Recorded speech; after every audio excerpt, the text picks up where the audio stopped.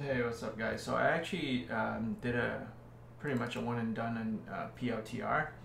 Uh, so this stock has been down, um, or it popped up and then it came back down. Um, so that's sort of how it looks like. Uh, popped up, came down. I saw that it's resting above this moving average. There's a level here. Uh, it, I waited for it to get back up above this level, um, and then I went in uh, a thousand shares. It popped up.